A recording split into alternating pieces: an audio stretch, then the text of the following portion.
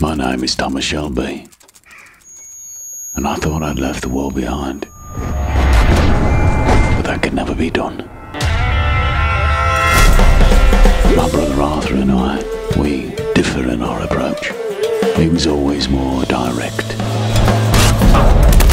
But me, I realised that everything can change in a moment, and you have to be ready for that moment, ready to deploy your forces and act with military precision.